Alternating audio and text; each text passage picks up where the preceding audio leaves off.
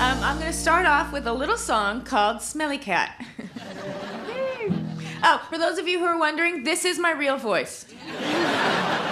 Smelly cat, smelly cat, what are they feeding you? Everybody! Smelly cat, smelly cat, it's not your fault. Monica! They won't take you to the vet. obviously not their favorite pet. Joey! May not be a bed of roses. Rachel! You're not friend to those with noses. uh, Ross, those are the only lines we have, sorry. Okay.